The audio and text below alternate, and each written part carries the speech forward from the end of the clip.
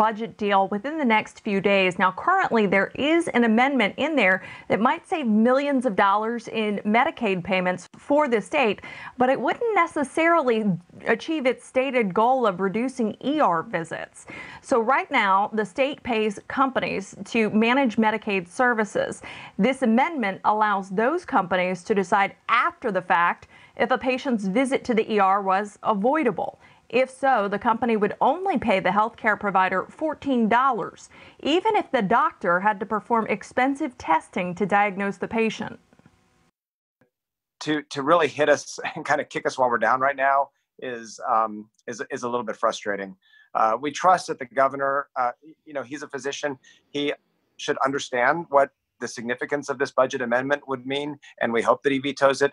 Uh, we just are afraid that, you know, given everything that's going on right now, that the attention won't be placed on it that needs to be. We reached this issue but have not yet heard back. Governor Northam did say today that he is looking for ways to try to trim the state's budget as we navigate.